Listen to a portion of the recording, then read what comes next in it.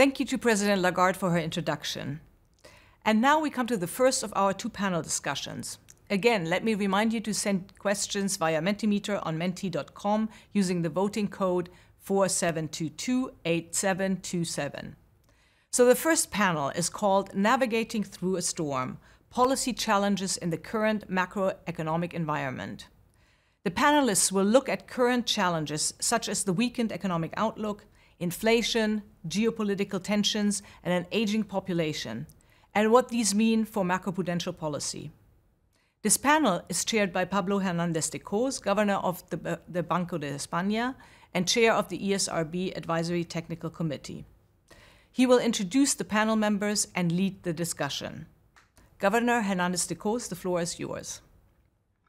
Thank you. Thank you very much, uh, Connie, and good afternoon, everybody, and welcome to this uh, first discussion panel of the sixth annual conference of the European Systemic Risk Board.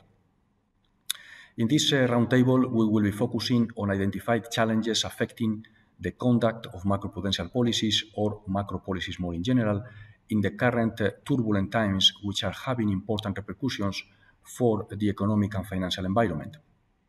As uh, noted by President Lagarde during her welcome address, in the course of this year, we have witnessed an increase in financial stability risks the appalling invasion of Ukraine by Russia, initiated as uh, we were recovering the activity levels previous to the pandemic, has contributed to either full new or exacerbate existing systemic vulnerabilities in Europe and beyond.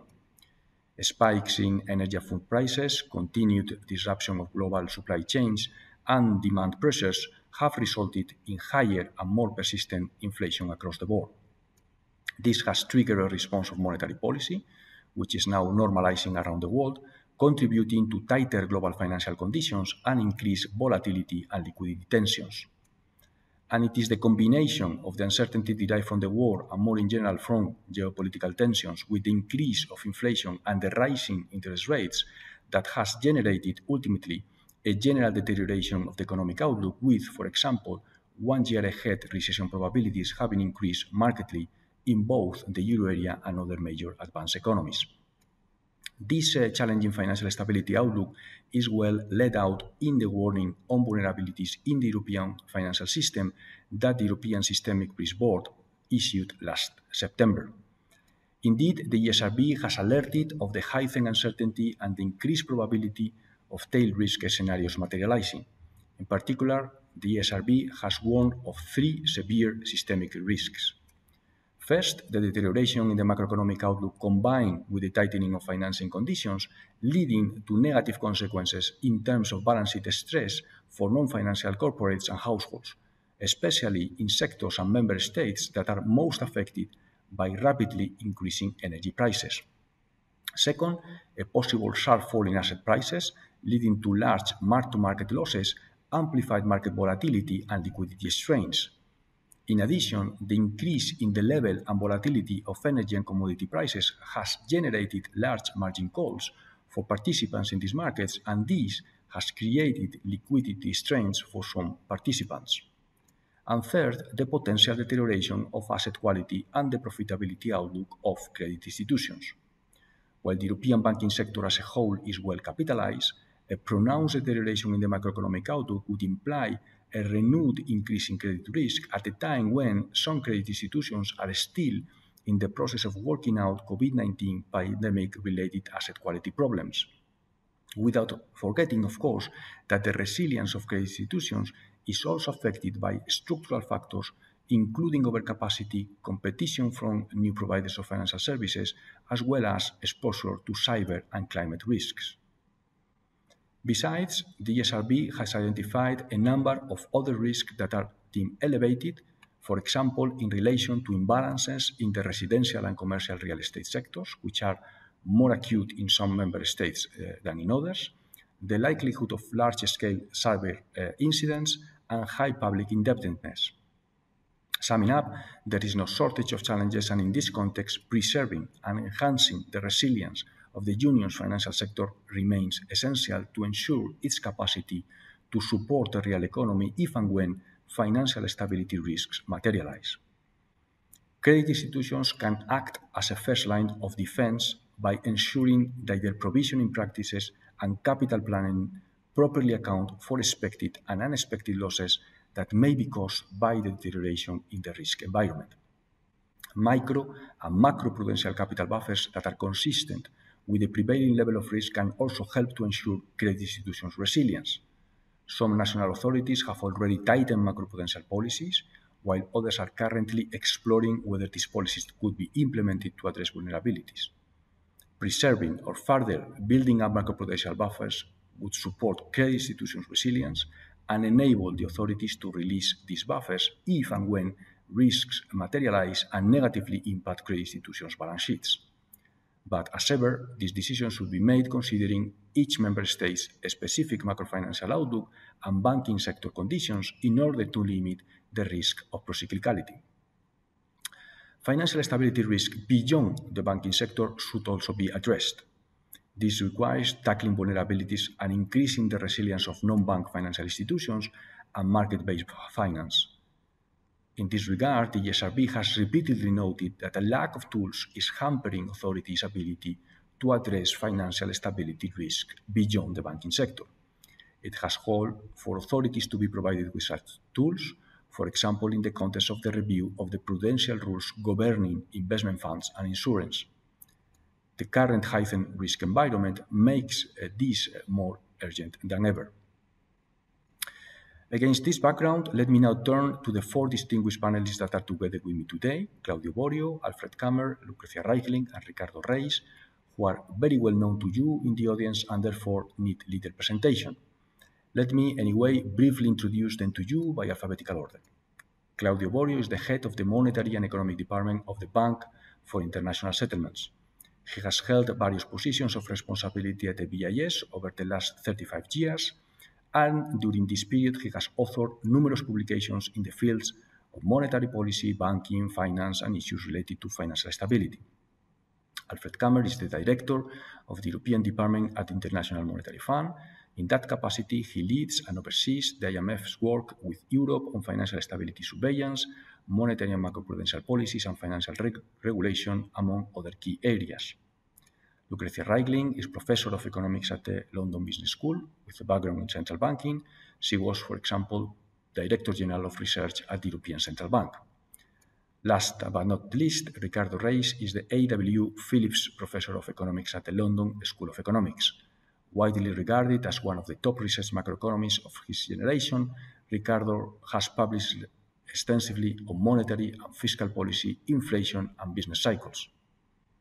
So thank you very much, Claudio, Alfred, Lucrezia, and Ricardo, for kindly accepting the invitation to be uh, with us uh, today. As discussed uh, with you previously, I would first give the floor to Alfred. Alfred, please, uh, you have the floor. Mm-hmm. Thanks, uh, uh, Pablo, and, and, thank you for inviting me to speak at this event. the financial system indeed is facing challenging time. And Pablo, you have started up on a list of events and risks we are facing Russia's war in Ukraine, the extreme rise in energy prices, high and persistent inflation, rapid monetary policy tightening, a slowdown in US and China economic activity, the undoing of the peace dividend, and repricing of almost all financial assets, and the list goes on. What we can take comfort from is the fact that financial markets functioned orderly and the European banking system remains strong in 2022. This is testimony to the quality of European regulators and supervisors. This is also a result of the reforms implemented since the global financial crisis, which included the introduction and widespread use of macro uh, policy tools. But the next years may prove difficult still. While we are only projecting a shallow recession for Europe for 2023, most risks are pointing to the downside.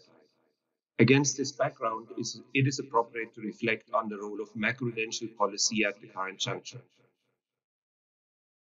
The Great Moderation exemplified a divine coincidence where optimal monetary policy could simultaneously stabilize inflation and minimize unemployment. But it became also apparent in the low for long interest rate environment that there was no divine coincidence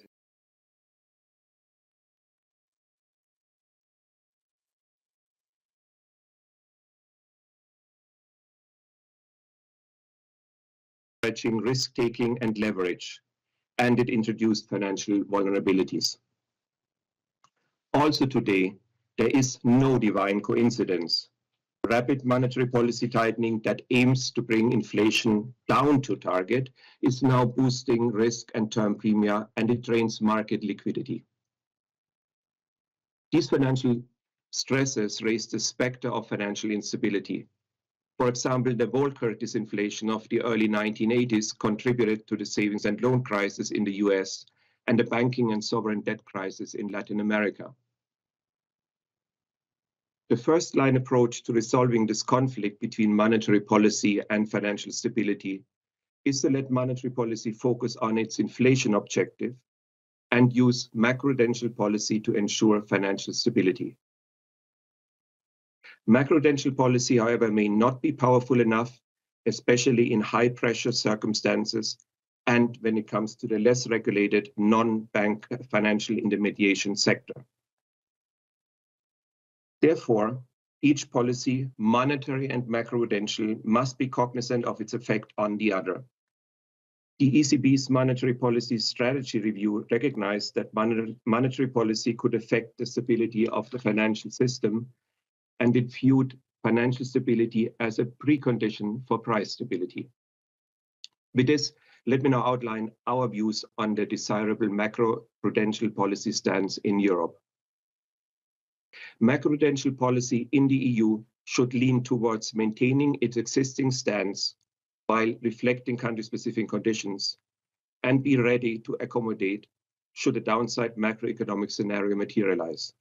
That's it in a nutshell. Let me elaborate. I will start with the cyclical macroprudential tools, such as the countercyclical capital buffer. These tools ensure that banks build up cushions in good times when the countercyclical capital buffer is activated and accumulated, and use these cushions to continue lending during downturns when the buffer is deactivated and drawn down. Unfortunately, most European countries could not accumulate countercyclical capital buffers quickly enough during the short post-pandemic recovery and still have buffers at zero but many countries have announced intentions to increase the countercyclical capital buffers later this or early next year, usually to around one to two percent. When these imminent increases are already incorporated into bank capital planning, as is the case for France, Germany, and Sweden, they are almost as good as implemented. For us, maintaining the stance of macroprudential policy means using current countercyclical capital buffer settings and announced plans as an anchor. A loosening of buffers from these levels is premature, as financial excesses are still present and sometimes they are even increasing. A marked tightening of buffers is not advisable either, as it may make macroprudential policy procyclical. If the credit cycle turns, the pressure on banks to comply with higher countercyclical capital buffers requirements may reduce credit supply and amplify a downturn. The other part of the macroprudential toolkit are structural borrower-based measures, such as loan-to-asset, debt-to-income, and debt service-to-income limits in mortgage lending. Tighter borrower-based measures help build resilience during buoyant market conditions but we would urge caution on initiatives to loosen borrower-based measures to support financial conditions at the current stage of the cycle. Looser borrower-based measures may increase fragility and household financial risks in the still imbalanced housing market. Additionally, empirical evidence confirms that the relaxations of borrower-based measures historically had little effect on financial conditions in downturns. In fact, Given our clear understanding of the spectrum of risks, countries could now augment loan-to-asset and debt-to-income regulations by requiring banks to stress test the debt service-to-income ratios on new mortgages. This has been done in some countries already, like Finland, Lithuania, Malta, and Slovakia. The authorities could also issue recommendations of low limits to avoid lending at high loan-to-asset and debt service-to-income ratios. Countries can supplement the core macroprudential tools with sectoral measures, such as the systemic risk buffer to target specific risk, such as those in real estate. For example, Belgium, Germany, Lithuania, and Slovenia have recently imposed macroprudential capital charges on banks' mortgage exposures to better protect banks and the macroeconomy from adverse housing market shocks. These sectoral measures are welcome, and the fact that they are targeted gives countries more flexibility in their implementation while limiting unintended consequences. Our advice towards maintaining the existing macroprudential policy stance may, of course, change in a downside economic scenario. Then the authorities can release or deactivate the countercyclical capital buffer, consistent with the purpose of enabling bank lending in a severe downturn. Let me make three further points. First, it is critical to keep enhancing the macroprudential policy toolkit. If this toolkit is insufficient, a specter of a financial crisis may break down the separation between monetary and macroprudential policies, forcing a degree of financial dominance in policymaking. In this context, we look forward to progress in the European Commission's legislative review of the EU macroprudential framework, which started in 2021. This review could usefully include measures towards an earlier buildup of the countercyclical capital buffer to higher steady state targets, a priority that has been underscored by recent events. Furthermore, the review could ensure that all member states should have access to basic borrower-based macroprudential tools to mitigate housing market risks and imbalances. The question of improving coordination and consistency of macroprudential policy across member states while accounting for country-specific characteristics also deserves analysis.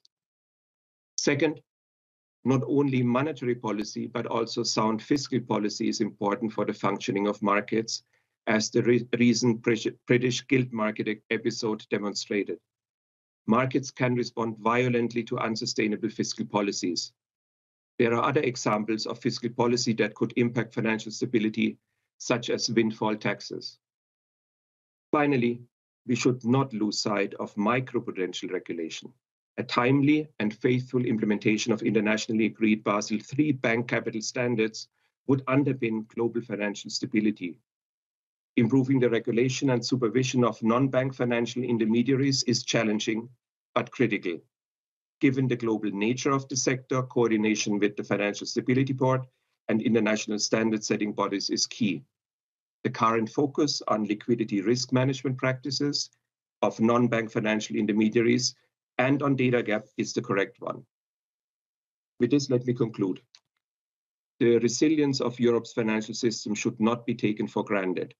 The financial system withstood the pandemic and the war relatively well only thanks to hard and forward-looking work since the global financial crisis by financial sector policymakers. Complacency is dangerous Policymakers should see recent events as a wake-up call to prepare the financial system for whatever the future may hold. Thank you. Thank you. Thank you very much, uh, Alfred. Uh, let's now uh, move uh, to, to Claudio. Claudio, please. Well, uh, thank you, Pablo. And I'm delighted to be on this panel and to reflect on an issue which is very close to my heart. That's the relationship between macroprudential frameworks and, uh, and monetary policy, and particularly at the current juncture. Now, this is a huge topic, so uh, let me just uh, be quite selective and, and start from the big picture. Uh, I think it's useful to have this as context. Um, policymakers are facing unprecedented conditions by uh, post-World uh, War II standards. And that is recession risk in the context of a combination of monetary policy tightening in order to bring inflation down and widespread financial vulnerabilities. Um, by that, I mean, in particular, historically high debt levels, both private and public, and elevated asset prices, particularly those in, in, in real estate. Now, why do I say unprecedented? Well, because what we're facing is, in some respects, a combination of two stylized different types of uh, recession. First is the recessions that we saw until the mid 1980s, which one could call inflation induced recessions. That is, inflation would go up, monetary policy would tighten, and this would cause a downturn, in addition to any exogenous shock at the time. But because you had generally financial repression, there was little change in indicators of the financial cycle, such as debt, uh, credit, um, property prices, and, and the like. After the mid-1980s, and leaving aside the COVID crisis, which is sui generis, we shifted from what one call what one could call financial cycle-induced recessions. That is, inflation was low and stable, so there was no need to raise interest rates, but financial booms turned into busts, and of course, the great financial crisis is the biggest example of that.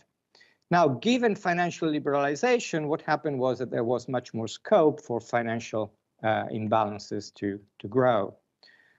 A couple of implications from all this. First of all, um, if you like, the macroeconomic background is combining the worst of all two, pos two possible worlds, and we have little precedent to go by.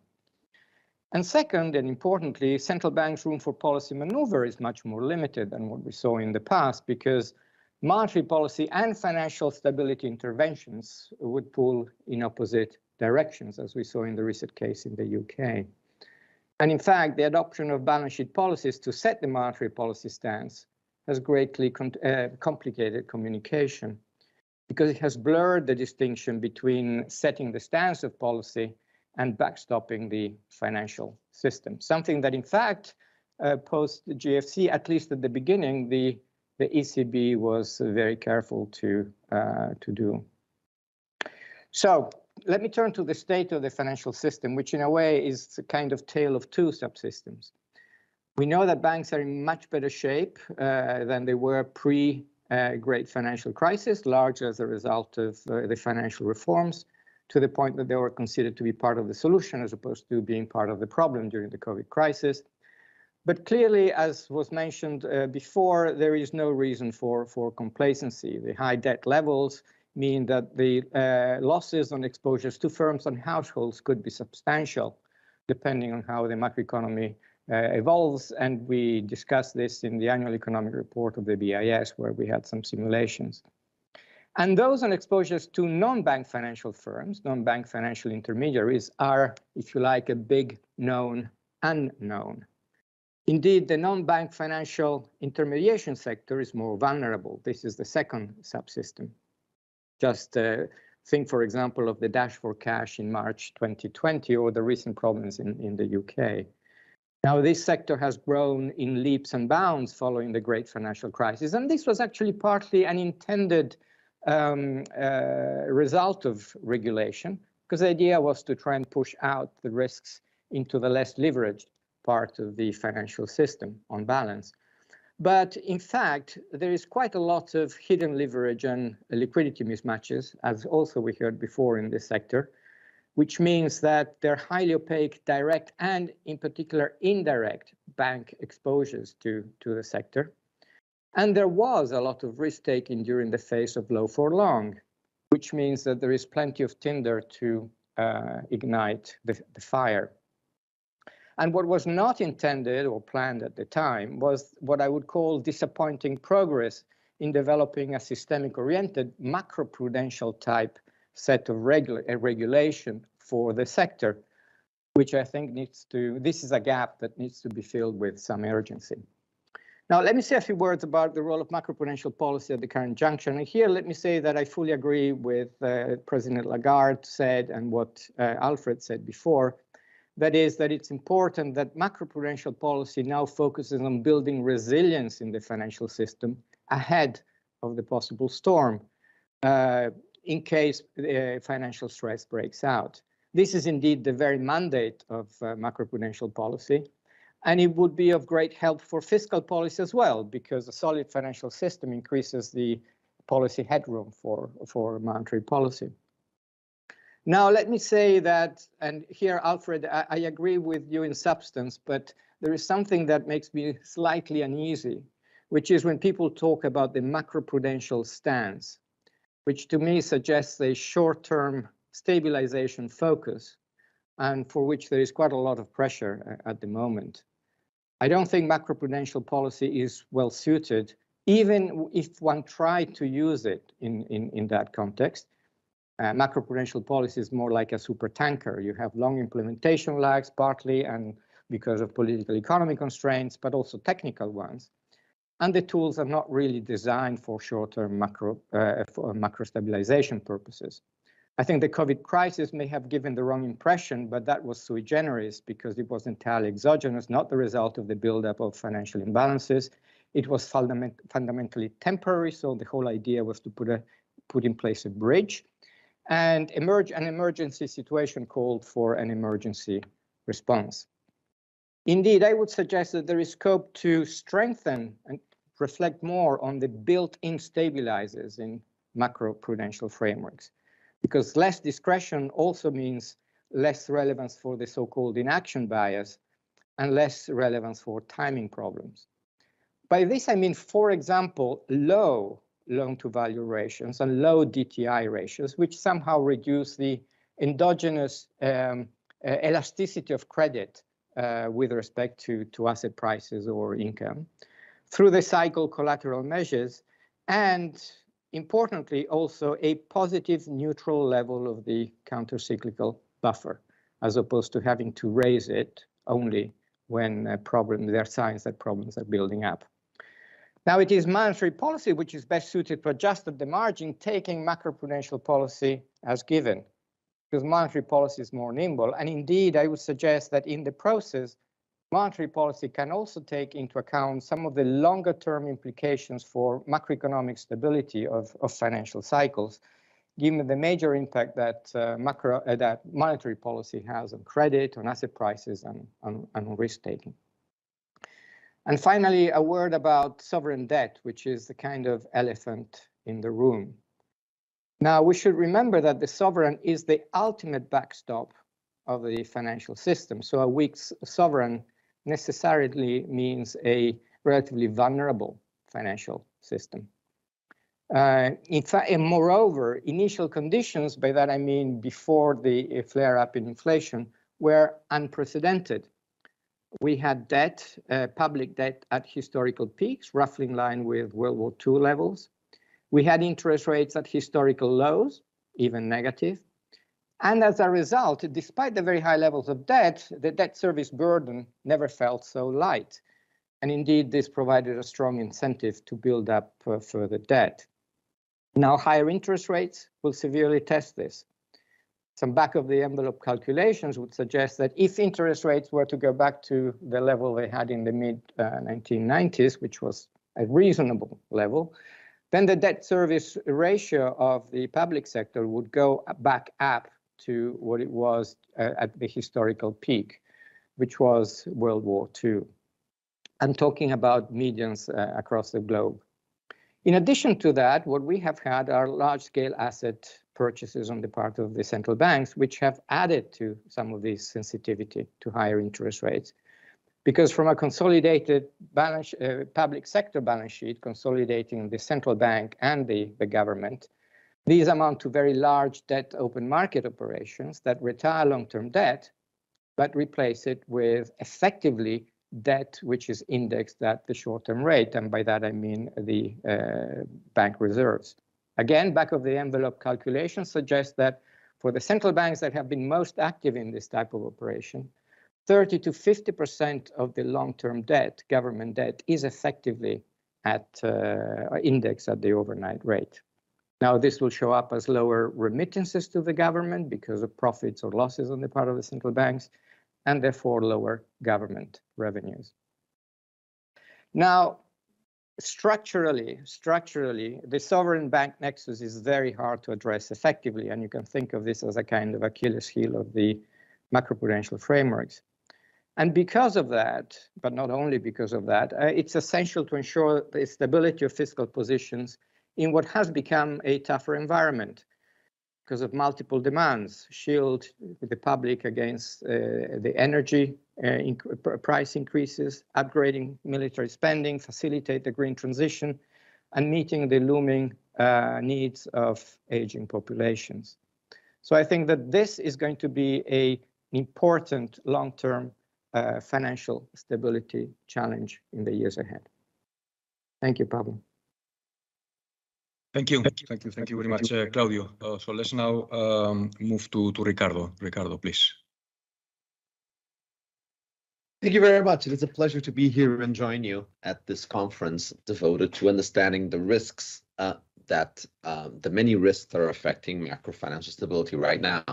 As the previous speakers have said, as well as President Lagarde, we are currently facing a very challenging environment for policymakers in the space of macroprudential policy because there are multiple shocks affecting the financial sector that are external to the sector itself, but which, as we well know from the dynamics of macrofinance, the sector will tend to propagate and generate and amplify.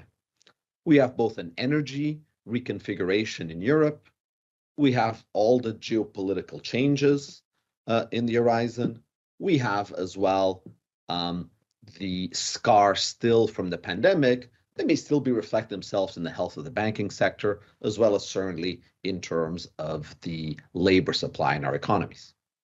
Out of all of those, out of these three, though, there is a fourth one, a major risk facing our economies now, not just a risk, but a reality, a shock, and that is elevated inflation at levels well, well, well above what they were before. Inflation in the last year was since we are in a financial stability conference and one likes to talk in terms of standard deviation shocks, the last year is 4.5 times the standard deviation inflation in the previous 20 years in the euro area. It is a four or five sigma shock in terms of just how large inflation has been in the last 12 months. Rightfully, the main focus at the ECB has been on eliminating this risk um, to central bank credibility inflation persisting and in delivering on its mandate that inflation should be 2%. This is a conference not about ECB, the ECB monetary policy, but rather about the ESRB and macroprudential policy. And so as a result, I will not talk about how to bring inflation down, why it went up. We'll take as given that inflation has gone up. And I will also take as given what I think are relatively uncontested truths of monetary policy, which is that interest rates are going to have to rise. They've already even risen uh, in order to combat that high inflation. And finally, I will express I will also take as given a trust in the ECB that it will deliver low inflation that is that this high inflation period is temporary. So in a period of elevated inflation, where interest rate increases are inevitable and may have already entirely happened or there's more to come, uh, and where inflation is only going to be temporary, how does this in itself pose a shock to financial stability is going to be the focus of my remarks for the remaining nine, eight or nine minutes. And I want to make three points in that regard. The first one, perhaps the most obvious, perhaps intellectually less interesting, which is not to say that quantitatively less interesting, is that a temporary burst of inflation can translate into higher inflation risk premium for many years. Insofar as, again, um, investors, consumers, households start revising up their that standard deviation of inflation, realizing, well, five sigma events happen, and maybe it's just that you had underestimated the sigma before. Perhaps in perceiving that inflation may be higher, or at least it's a risk of inflation, we may see that reflected in terms of higher compensation for risk in sense of the nominal interest rates that are charged throughout the economy. On that regard, note that it is important to note when it comes to financial stability that the last 20 years have been really quite remarkable in how much the government bond R star has fallen. A big fact of the last 20 years that affects the entire financial stability, because after all, government bonds are at the heart of any, uh, of any financial system, is that we've had a decline of the R star on government bonds, of the interest rate at which government, governments are able to borrow, which has not been accompanied by a fall in the R star of the private sector at the interest at the returns that one obtains in private investments at the return at the interest rate at which corporates have themselves have to borrow say. That gap that increased wedge between the R stars has been tried to be explained. Immediately it means that governments have had their budget constraints greatly relaxed and has allowed, for instance, for the fiscal room that was so useful and so needed just a couple of years ago to fight the pandemic. Well, when we think about what explains it, always to the front come stories or explanations or theories that emphasize the safety of government bonds. Well, one of the things about the risk of government bonds, there's of course a risk of default, which I would like to think continues to be quite remote for uh, the countries of the euro area. And then secondly, there's inflation risk. Those are the risks that as a bondholder you face. If inflation risk goes up, you would think that, prima facie, you would expect that what we would see is a closing of this gap a closing of this special of government bonds, and an evaporation of this revenue, this debt revenue that governments have enjoyed by being able to borrow at such a low rate. Therefore, an increase in inflation risk premium would go to the heart of what um, um, has allowed public finances to be sustainable, what has allowed for a relative tranquility of government bond yields in spite of large fluctuations in government spending and government debt and large crises as we had uh, as we've had over the last 10 years. So this is certainly potentially important. However, what needs to go next, the next step is to go qualitative to quantitative and to think of how large can this inflation risk premium be. Here, I am guided by many estimates of inflation risk premium, say from the United States for the last 34 years, the Cleveland Fed, through the work of Joe Haubrich and others, has produced many of these series. And we tend to have inflation risk premium that can oscillate. I'm thinking here at the 10 year horizon, so that we relate to government bonds, they oscillate between maybe 20, 50 basis points. That is, that have a standard deviation of something like 20 basis points. In my own current research uh, with my colleague Ian Martin, we've been trying to use a series of techniques to at least provide bounds for where inflation risk premium are, given the difficulty in estimating these. And we end up with bounds, which are very, these are no arbitrage bounds, so they really have to hold, that go between somewhere between inflation risk premium being somewhere between minus 20 and maybe plus 80 basis points. These are really ranges. And so that tells me that even if there is a lack of trust of investors on the on on inflation being our risk, I would expect inflation risk to adjust by maybe 10 basis points. If I'm pessimistic, 30 or 40 basis points. Is that put a burden on the government budget? Absolutely. Is it a burden high enough, even in this worst case scenario, to cause a financial stability problem? I do not expect that to be so. However, I want to leave one point of doubt, and that comes from my enormous respect for the research that is being done at the ECB Research Department.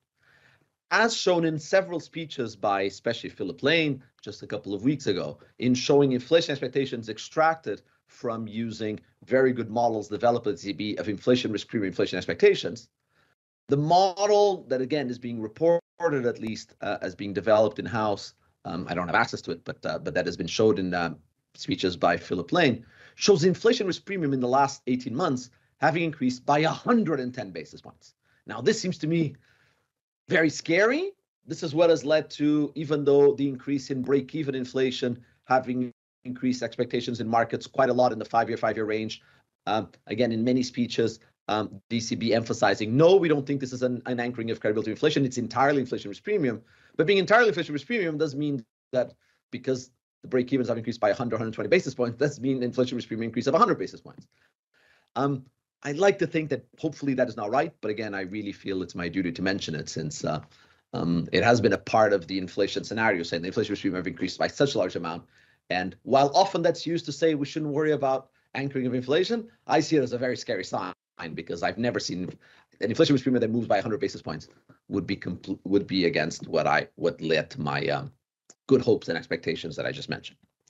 Second risk is that beyond the aggregate risk and risk premium that comes with inflation is that inflation being an aggregate risk is not diversifiable and therefore is going to mean that some agents in the economy are long and some are short. And here in this case, since we're talking about the financial system, let's talk about the financial system as opposed to the economy as a whole. Some institutions are going to be long on inflation risk, some institutions are going to be short on inflation risk. Some are going to win or make gains from the last 12 months in expected inflation, some are going to make losses some of those gains are going to be larger offset by the next 12 or 24 months and the success of the ECB at bringing down inflation. Some are not. It is not common because we have lost that habit for after 40, 50 years of inflation stability to think of inflation as a source of gains and losses because inflation was so small. But when you have high inflation, there are some clear winners and some clear losers, including and especially in the financial sector. Moreover, over the last 10 to 15 years, we've had the development of a very large, very deep inflation swap market in which many financial institutions have started uh, buying and selling that inflation risk, meaning that in some ways they may have either offset or in some cases enhanced the inflation risk that they have in the horizon. I think one gap we have in our knowledge now is precisely this. Who is holding the inflation risk? As a rule of thumb, and certainly the data work that I have done myself in trying to use the available, publicly available statistics on this, is that as a rough approximation, banks sell inflation risk and pension funds buy it. In other words, banks sell insurance to pension funds who have long-term liabilities against their inflation. That would suggest that over the last 12 months and the next 12 months, banks will make losses and pension funds gains in their swap contract, or at least lower losses than they had before. Are, is that shock, that source of loss for banks, enough to jeopardize financial stability? I don't think so. But if I think about one large macro risk that is perhaps not been stress tested enough, that has perhaps not been quite analyzed enough, that is the one that I would point to. Are there some banks out there that have sold a lot of inflation protection and are about to find that they therefore have to pay a lot uh, of insurance? Third risk on inflation. For the third one, uh, let me go from the inflation to the interest rates that follow it for my remaining, I think, two minutes or 90 seconds, but I'll take two minutes. Um, let me remind the audience, which I think many, certainly my panels in the colleague do not need a reminder, of the terrible crisis that the euro area went through uh, 11 years ago when the mere existence of the euro was threatened as um, the sovereign debt crisis um, affected so many countries. Both then and as well as in the years after, there's been a consensus, as consensus go in academia and policy making, that a very important ingredient in that was a so-called diabolic loop between banks and sovereigns. That is the fact that when the bond prices fall, banks would suffer large losses. Those large losses would reflect themselves into both an increase in the probability they need to be bailed out or a cut in credit and tax revenues, therefore justifying and enhancing the initial falls in government bond prices. This has well been relatively well diagnosed, and even by 2015, I would say it was relatively understood how to solve it. We needed some combination of a euro-wide safe asset that banks could hold, some combination of a penalty for a bank to hold the bonds of its sovereigns when those bonds of that sovereign become very risky in bank regulation, and third, some form of EU-wide deposit insurance that would break such a tight connection between banks and sovereigns. There were many different views on how to achieve these three legs of the triangle. At a more expensive, expansive side, some thought that we should have euro bonds, completely euro-wide deposit insurance, and risk weights on government bonds, just as with any asset. At the other extreme, at the more narrow one, and I was one of those more narrow ones in these debates a few years ago, maybe we could just have a sovereign bond-backed security, which would come with no joint liabilities, a deposit insurance that only affected only moving forward, but not covering past debts, and thirdly, maybe just some concentration limits on government bonds. But there was certainly a lot of room to disagree, uh, including on how much political commitment we'd want. In the end, I do not think I'm being overly unfair to say that very little progress was done. The ECB, the SRB noted how important this had been, how dangerous it was to keep this loop alive. But in the end, at the European Council, um, decisions were not made to advance this in any particular uh, direction in a particularly strong way. Well, now, where are we now in 2022? Interest rates have to rise or have risen already, had to rise or have to rise. Let me not try to predict monetary policy, but at least had to rise in order to control inflation. And here we are worried that an increase in interest rates will lead to a fall in the price of government bonds or increasing their yields. That may trigger losses in banks who are holding a lot of these bonds and a diabolic loop that could lead to a financial crisis. the ECB has intervened very aggressively and correctly in in, a, a, in announcing the TIP program in order to prevent the diabolic loop from at least catching on fire. But the fact alone that we're worrying about this is somewhat tragic. And so, insofar as both President Lagarde and as well as I think Alfred mentioned, um, how it is important for the European politicians and legislative bodies to take seriously these financial fragilities that were identified by these bodies. This is one of them, a main one, one that hopefully should be still well alive in the hearts and minds of politicians and policymakers, and they should take very seriously right now, for it would be tragic if it was not the case. And I will conclude on that note with um, a few sentences on what is macroprudential policy. Claudio in many ways is the expert in the room on what macro policy can do and how to define it. But let me add something to what he said, to his wise words, in terms of the application or the interaction between macroprudential policy and monetary policy. One perspective of macroprudential policy, one, I mean, again, a complement, uh, Claudio, uh, I think highlighted the more important ones, is that macroprudential policy was created by central banks in part to keep monetary policy independent. Monetary policy has to be independent from managing the public debt. We know that. Independent from trying to create the electoral cycle, but also independent from financial considerations insofar as we can actually raise interest rates to control inflation when needed without worrying about breaking the financial system. Now, you'll always have to worry a little bit in the same way that when you raise interest rates, you have to worry about the recession you cause and the public debt problems. But you in part create macroprudential policy to release monetary policy, to be able to raise interest rates, to be able to lower inflation. Therefore, in some ways, it is now from this perspective that we are now in a hiking cycle, having done so much about macroprudential policy for 10, 15 years, that the proof is going to be in the pudding.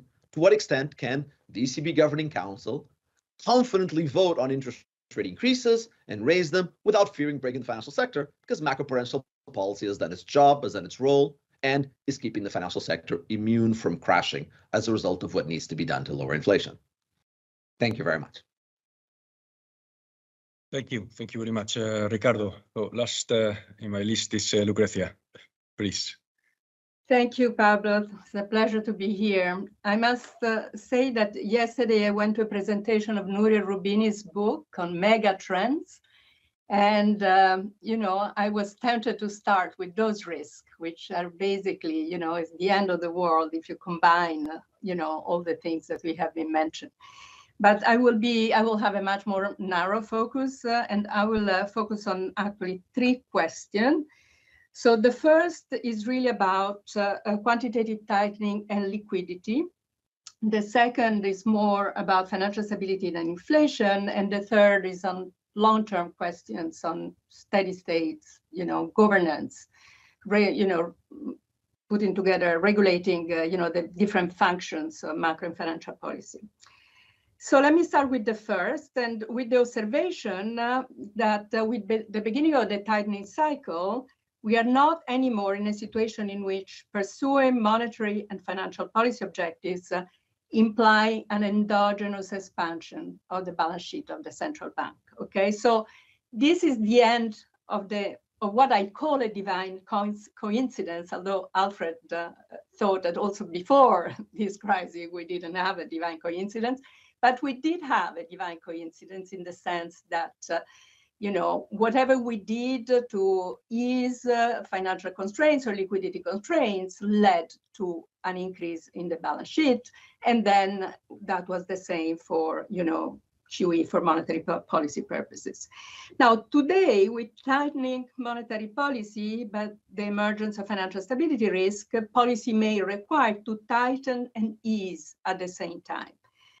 So the first question is about liquidity and the liquidity risk uh, that we are facing uh, in the tightening cycle. And the question on a positive sense is how we can use these balance sheet tools uh, to do to do you know both easily easing and tightening and um, and you know this leads to the question how do we understand the interaction between regulation and monetary policies so how uh, we can use balance sheet policy to tighten for monetary policy purpose and to ease for financial stability objectives. Now, let me just say in something that, uh, you know, maybe there will not be consensus around that, but in principle, central banks have the capacity to act as market makers if stress emerges in the, emerge in the financial markets and implement QT at the same time. Of course, if this is the case, if the shocks is not a mega shock, okay, systematic shock. And, you know, for example, they can sell long by QT and buy short for financial stability purposes. And we have seen many examples, successful, successful examples of that. For example, I'm here referring to, you know, the, the recent uh, small crisis in the UK, which was successfully dealt with by the Bank of England with uh, very little uh, asset purchases. At the end, they only, you know, spent, you know, 20 billions uh, in, in asset purchases. And also successfully, this was successfully done in the US, uh, you know, in recent times when uh, tensions in treasury markets uh, appear. In a way, this is also the idea behind the TPI, you know, the new instrument that the ECB has put on the table. The idea is there is that even in a quantitative in a tightening cycle, you can intervene in segment of financial markets to address issues of transmission of monetary policy. This has not been tested. We will see how, uh, you know, things will be if uh, we get there. Now, uh, having said that, however, what I'm worrying about is that uh, there are structural reasons why this kind of central bank interventions uh, for financial stability purposes will have to be more frequent in the future. And this actually, to me, it poses a, a, a fundamental question of architecture and you know the relationship between financial regulations and the use of balance sheet. Now, let me give you give you some examples. So, okay, this example, the first example especially relates to the US. It has been observed that even with a system of ample reserves, so that more than 1 trillion of, dollars in the US, uh, there have been episodes of liquidity stress in all jurisdictions, uh, and in the US uh, especially, not only during COVID, but also, you know, in, in other, uh, at other occasions. And, uh, you know, and people have been worrying, uh, have been asking whether this is a paradox or not, okay? And there are many reasons to believe that this is actually is not a paradox. Uh, one thing that uh, um, that I, I, think is quite worrisome, uh, and it has happened since the uh, great financial crisis, is the you know, structural transformation in the financial markets which uh, um, which lead uh, okay so to this high probability for liquidity crisis to emerge. On the supply side you know the the regulations on capital charges on treasuries have penalized uh, the the banks the market makers to run large balance sheet those institutions do not want to uh, run large balance sheet. Indeed, the inventories of market-making banks have collapsed since the great financial crisis. But on the demand side, we have seen an increase of concentration of asset management. So now those institutions, the asset managers have huge balance sheet, while the market makers have small balance sheet. And, uh, you know, this leads to a kind of structural mismatch, uh, which has is one of the reasons why the market has been pro to, to liquidity to liquidity issues. If you talk to to uh, to investment bankers, they will tell you we cannot, uh, you know, solve, you know, provide that kind of functional market making uh, as it did in the past. Of course, you know, it's a matter of prices, but uh, you know, there is a discussion, a regulatory discussion on on uh, um, you know the fact that those regulations uh, uh, that we implemented for good reason after the financial crisis exacerbates hoarding incentives during time of stress. Now, if we go to the Eurozone, uh, uh a second example, we, you know, there has been a big discussion about um, the dash for collateral rather than the dash for cash that we have seen uh, in the US. And, you know, this is clearly has emerged with quantitative tightening. We have seen a shortage of collateral. There are many reasons of that. There is no time to, to go through them. Some of these reasons uh, have to do with regulation. Some have, you know, relates to the current situation of extreme high volatility. Um, but today, um, you know, the, the problem, I mean, in the Eurozone, this is kind of a, a fundamental problem because uh, partly of the problem uh, comes from the fact that, uh, you know, there, there is a shortage uh, of high quality collateral due to the fact that, you know, we don't have a euro area yield curve so that when this demand for high quality collateral arises, that goes into the form of demand for German bonds. And, uh, uh, and there are not enough of them around, okay? So, you know, in all jurisdictions, the sovereign market is the bedrock of the financial system.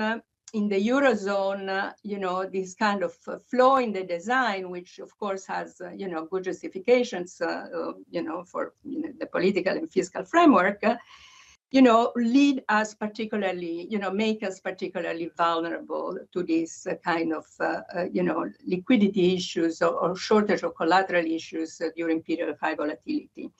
Now, of course, there are policy remedies for doing that. I mean, uh, you know, the reverse repos, uh, flexibility of asset purchases, uh, etc. But uh, the, the, the, the question I want to put on the table is that, uh, you know, what is actually the design that we have in mind? Okay, so if there are these structural changes that uh, have led to this kind of, uh, uh, you know, pro to, to the, you know, to, to, to this fragility and, uh, you know, vulnerability, uh, uh, you know, to, to, to changes in volatility. Um, on the other hand, on one hand, you know, it is kind of reassuring to see that the central bank have the power to act. That's the good example of the UK or the good example of the US. But actually, you could think asymptotically to a system in which actually the central bank replaces the market in the market making function. And then the question is, is this really what we want? Okay, so, and if it is not, how should we design regulation in a way so that, uh, uh, you know, everybody does his job in a sense? There is, you know, I, I can see that, uh, you know, there we need some clarity of what is the direction of travel. So that is my first point on liquidity. So I want to, you know, uh, I wanted to put the kind of uh, provocative question on the table. The second point I want to discuss is uh, inflation and financial stability, you know, beyond liquidity. Um, you know, fighting inflation to stabilize expectation is obviously a must. Um, the question is how fast and at what level to stop. Uh, this is not, uh, you know, the forum to discuss about monetary policy, as Ricardo said. But, you know, from a macro perspective, the question today is where is the natural rate of interest? And this will guide us the end point of the tightening cycle. Now, however, with tightening, uh, financial risk grow. Okay, Ricardo emphasized the risk of high inflation, but of course, uh, you know, there are, you know, bigger risks that we're facing today. Uh, so I emphasize liquidity, but of course there is credit, asset prices, uh, leverage. Uh, and indeed, if you look at the index of financial condition, it's really going south. and, uh, you know, it's correlated uh, negatively with the probability of recessions. We have seen from Bloomberg that the probability of recession one year from now is 80%. So we need to ask at what level of the real interest rate the credit constraints will generate uh, a fully fledged financial crisis. Now there are fragility, uh, you know, accumulating, but we know that it's very easy to, to go from one regime of moderate uh, um, vulnerability to, uh, you know, to, to a situation in which the spreads will, will spike. And we know that uh, from empirical regularities that those uh, are very much, uh, you know, that there is this non-linear correlation between uh, between output uh, and, and, and financial stability. Now, markets expect that the rate hike cycle is going to end sometimes in early 2023, uh, but the rates will stay longer, higher for longer. So this, you know, would spell ongoing pressure to deleverage, especially in 2024, where there is a fair amount of corporate debt to be refinanced. And, uh, um, you know, although some that the leveraging is desirable, you know, there is a question, you know, that at some point, okay, so that uh, there is that other interest rate. This is a point that uh, has been studied quantitatively by, by Paperent and the New York Fed. There is another equilibrium interest rate, which is the financial stability equilibrium interest rate. And, uh, you know, the price stability and the financial stability equilibrium interest rate may not be at the same level. And uh, of course, uh, uh, you know, then the question is uh, when that financial stability equilibrium level will be binding, what will happen to monetary policy? So I guess that this is also the question that Ricardo asked. You know, will the financial stability concerns dominate over monetary policy? Is the macroprudential framework that we have robust enough? So third, third part of my uh, discussion is more about the steady state questions. Uh, and here I have basically in two parts. One is more nerd, is really about the plumbing of monetary policy. And, uh, you know, of course, we are, we are uh, now going into QT, but okay, there is a question. So what is the size of the central bank's balance sheet that we envisage in the steady state in normal circumstances? Uh, now, since the financial crisis, uh, central banks have operated uh, in a system which is called a system of ample reserves, so accommodating demand for liquidity. Now the balance sheet is shrinking, uh, but at what level? Okay. Uh, now, a common view is something that uh, Ricardo and I wrote in, in, in a recent uh, report uh, is that uh, you know the balance sheet should be at least as large as the demand for reserves. Okay, so that's a kind of an application of the Friedman rule, but not larger.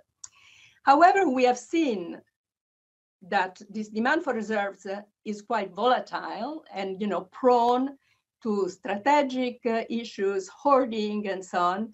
Indeed, there is recent studies from the BIS, but also from the New York Fed that um, show that even in a system of ample reserves, uh, we have strategic cash hoarding uh, so that uh, uh, rates in the market of reserves are still very sensitive to shocks.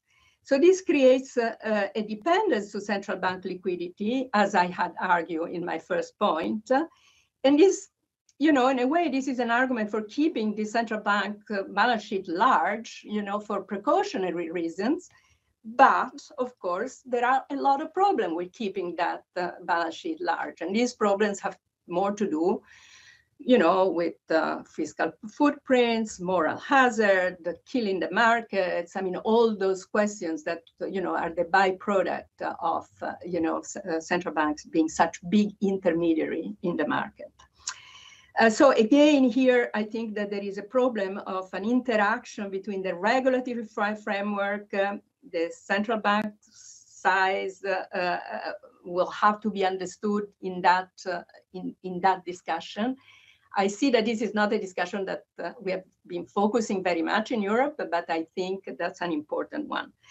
And then, of course, in the Eurozone, we are confronted with the deeper issues, uh, uh, which is the fact that we don't have, um, you know, that kind of euro safe asset uh, so that uh, the central bank, uh, you know, is called for action, even in a more kind of structural sense, in order to defend the stability of the sovereign debt market. Uh, and here, not just talking about movement in bonds, which are justified by fundamentals, but, you know, this, this kind of adjustment which gives a particular privilege to the German Bund. So, uh, okay, so uh, having said that, uh, so this is the plumbing, but then, you know, there is, the, you know, more macro uh, questions, which, um, you know, is uh, with large balance sheet and monetary and fiscal interaction. Now, this is, uh, again, is something that Claudio has already mentioned um, with increased interest with movement in interest rate, which now are much larger than anticipated, the, risk that we were all aware of uh, in you know the balance sheet uh, of, of, you know the, the maturity mismatch that uh, that uh, we have developed uh, in the in the central bank's balance sheet you know means that you know the, the possibility of those losses which are just a theoretical and kind of curiosity are now materializing and in fact, we have seen that, uh, you know, including the Bank of England, is running into negative capitals. So some banks are getting into negative capital, some are making losses. Uh, now, as we know, this is not a problem per se, but uh, it creates issues of governance between the different authorities, between the monetary and the fiscal authorities. And uh, this is particularly difficult problem in the Eurozone when there is uh, quite a lot of um, you know, lack of transparency is about how the dividends are distributed, the capital, the banks are recapitalized, and so on. Now, long term, this issue of monetary and fiscal policy goes beyond, you know, this kind of, uh, you know, infrastructure issues. Uh, and um, I think actually, if we if we go, uh, if we look at, at the real long term issues, uh, it is likely. I don't see any I mean, I know that in your reports, the central banks, right, uh, say fiscal policy have to be, you know, uh, you have to be careful. You, you know, the measures to sustain households, they have to be temporary and measure and so on. But we know that the risk we are going to face, uh, the climate transitions, uh, you know, the geopolitical issues, uh, possibly new health, uh, uh, you know, episodes materializing, which we know, you know, are, are, are also linked, uh, you know, to climate change and so on, would mean that, uh, you know, there will have to be more unfunded uh, government spendings. I mean, that is a trend, okay? And it's hard to think in a situation uh, in which, okay, this is happening uh, and without having the possibility of, of, um, of financial repressions, uh, which we had in the 80s, okay, what is going to happen about the relationship between the fiscal and the monetary authorities? And it is hard to think that that system of rigid separations that we have had since the 90s is going to survive. Thank you. Thank you. Thank you very much, uh, Lucrezia. Thank you very much uh, to the four of, of you. Um, so we have still 15 minutes uh, for uh, for discussion. Uh, what I would suggest is that I, I pick um, three questions um, and I will uh, make these three questions in advance and then you pick up whatever you, you want to, to, to react.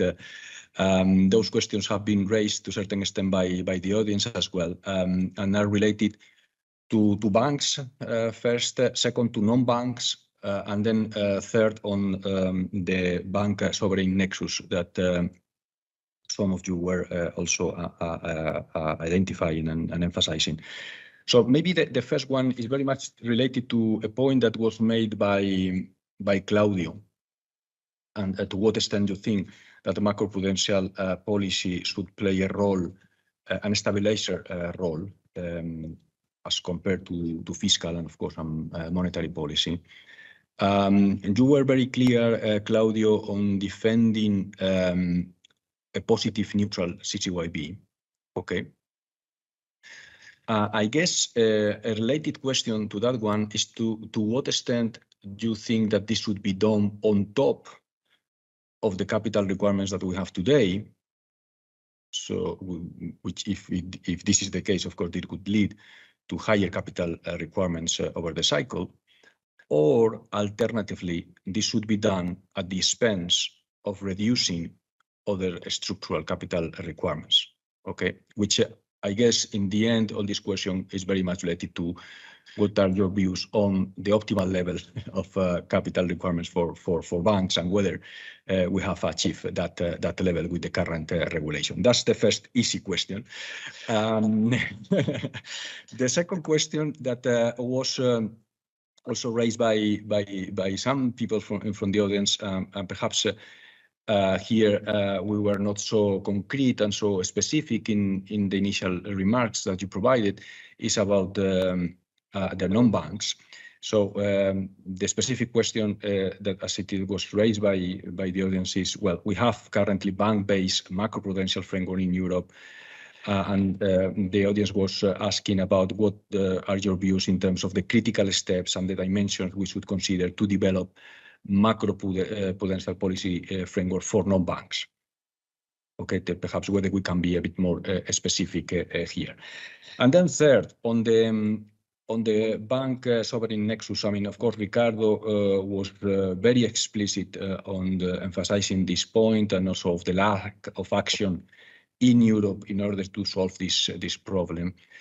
Um, there was a, um, a, comment by by the audience uh, saying, well, that to a certain extent we have overlooked or, or you have overlooked, uh, Ricardo, in your remarks, the establishment of a resolution framework in the European Union. And uh, the specific question was whether the, this is a, an oversight or a statement about the resolution framework that uh, that we have, um, and uh, maybe putting it in a more, general uh, um, uh, um, term. Uh, to what extent we think that this is really a problem? Okay, now in terms or can be a problem in the following in the following years. also related to to what Lucrezia said at the at the end of her remarks. Um, and what would be your priorities in terms of solving these problems? Um, Ricardo, you were mentioning several proposals that were made um, during the, the sovereign uh, debt, uh, European uh, sovereign debt crisis, uh, but most of them have not been applied in, in, in, practice. So maybe to be specific on what would be in your um, in your views the, the, the priority in order to solve this problem could be also um, an interesting Uh, answer for this specific question. So um, we have uh, like, yeah, five, uh, maybe I can even add five more minutes, 10 minutes for quick reactions to this question. I don't know, maybe I can start with Alfred and we'll continue with the same order that we did with the initial intervention. So please, Alfred. Yeah, maybe I start us off on the question with regard to macroprudential and non-banks. Uh, I think one uh, some some of the challenges uh, to to overcome is when when you're looking at that the way we have been dealing with the non-bank financial intermediaries in the EU, it was a focus on microprudential regulation, in particular consumer protection issues. And so we need more analysis and a better understanding of the macroprudential angle and focusing on systemic risks. I think that is one uh, bias to overcome. Uh, I would say uh, a second issue is non-bank financial intermediaries are across countries and macroprudential regulation and supervision is country-specific. So that will require more effort in terms of cross-border coordination. Maybe that could include the ESRB and the uh, and ESMA Uh, in terms of finding a solution. And that is also an issue uh, which uh, is a general problem with non-banks, getting rid or overcoming the data gap issue. We still lack the data we have available in the banking system. And again, cross-border coordination and cross-border work could probably be helpful in terms of overcoming the data problem. Thank you. Thank you. Thank you very much, Alfred. Uh, Claudio? Well, uh, thank you, Pablo. Yes, you gave me a very easy question. So um, so let me say, first of all, I'm going to uh, answer it on a personal basis. Um, um, the if you ask me, I'm very much in Paul Volcker's camp when once he was asked, what's the optimal level of capital? He basically said, I don't know, just raise it. Um, I think we've made uh, huge progress over the years, but it seems to me that partly because of political economy constraints, uh, we tend to, although we try to raise capital standards, it's always a bit difficult to raise them as much as uh, as uh, as one would like. So that's the that's the short answer. The um, if, again, if I had to choose, if you have the uh, level of capital, maximum level of capital as given, would I have more of a, if you like, countercyclical capital buffer relative to a conservation buffer? Um, I think that yes, uh, if you have that constraint, there is some room for maneuver to uh, to play around there. Um, I always felt that the, and I was involved in the development of the countercyclical capital buffer, that the 2.5 uh, ceiling was uh, rather low if we wanted the the buffer to act as a proper buffer. And I think that what uh, there has been, as you know, a um, a huge debate recently as to whether buffers are usable, not usable, and, and so on. And I think that that's partly because there is a bit of a, I wouldn't say confusion, but sometimes there are two things that are that are conflated. The structural or conservation buffer and the countercyclical capital buffer both have one objective in common, which is avoid banks entering into resolution that is hitting the minimum, but they do it in different ways. The countercyclical buffer is doing it in order to avoid collective retrenchment when things uh, when things go bad, which could amplify perverse dynamics in the system. The conservation buffer does it by increasing the penalties as the bank get close to the minimum. Uh, in a way, it's like a form of prompt corrective action, light, uh, call it prompt corrective action light, which means that banks will never, never be willing to dip into the into the buffer voluntarily because they are subject to penalties. Um, and because of that, I feel that maybe there is more room to to play with the proper buffer as opposed with a penalty buffer as the conservation buffer is. But more generally, let me say that if as you know, countries have uh, quite a number of Pillar 2 type um, um, regulations. Um, and I think that if you had the stomach, based on what I have just said, I think there would be room to improve the clarity of purpose of those uh, of those various buffers and tools, align them with the with the objective, and also align the control of those uh, of those various pillar two um, measures with the right perspective. So if it plays a macroprudential countercyclical role, then you would have a macroprudential authority dealing with it. If, on the other hand, it's more a bank-specific role, then you have a macroprudential authority. Microprudential. Thank you, thank you, Claudio. Um, Ricardo. Very good. So on bank resolution, two points, one more general and one more specific. Uh, I certainly welcome the bank resolution advances and directive and uh, implementation of bank resolution in the euro area. I think it's a step in the right direction in many ways. Um, I think it's fair to say it's a system that hasn't been fully tested yet, but that certainly in principle and ex ante seems to be an adequate one. However, note that uh, to say that when it comes to the issues that we are was discussing of these bank sovereign nexus and the way in which things can be amplified, to think that a resolution system by itself changes those dynamics, it won't. I mean, if anything, a bank resolution by itself can amplify them uh, by itself. I mean, you really have to have. I know of no bank resolution system in the entire world at any date in time that does not come with resolution still coming with deadweight losses, with disturbance, with propensity for runs in financial systems, to propensity for panics. Uh, uh, bank resolution in its isolation. So I don't think bank resolution by its isolation does not solve the nexus, but certainly can weaken them, especially as complement with other policies. But moreover, and specifically on bank resolution, we haven't had a lot of experience with it. But let me note the experience, perhaps one of the more notable ones of the few case studies we've had of the new directive, which is the case of the Banco Espírito Santo in Portugal, that left a massive bill for taxpayers. Yes, we preserve financial stability, and we're very happy about how maybe at the ESRB and the ECB um, that problem was handled through resolution. But the Portuguese taxpayers are not very happy with the very large bill that they've ended up having to foot, and which they're still paying actually, even now.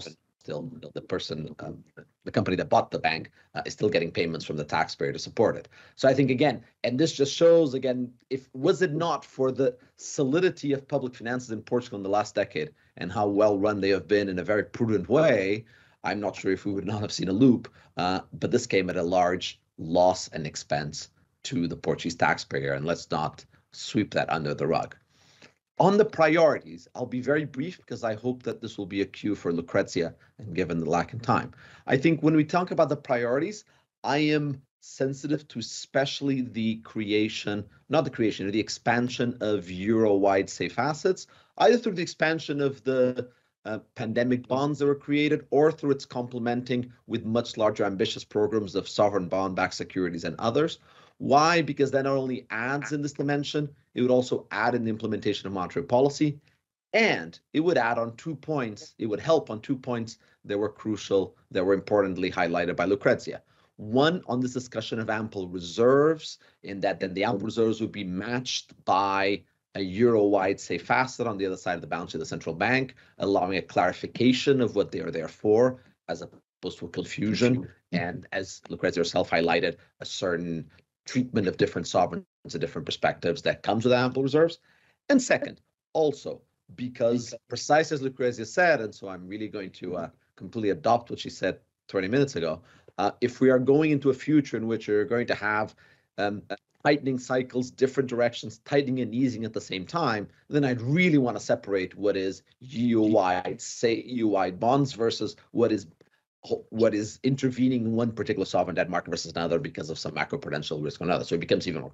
So not only sovereign nexus, but also for the two arguments Lucrezia has said, ample reserves and these different tightenings. It seems then that the uh, expansion of the creation, the expansion of a deep EU-wide safe asset market seems to me to be the priority. Thank you, thank you, thank you, Ricardo. Um, Lucrezia, you have the, the last uh, word. Yeah, the last word. Well, I mean, uh, uh Ricardo and I we spent the best years of our youth thinking of European reforms without much result.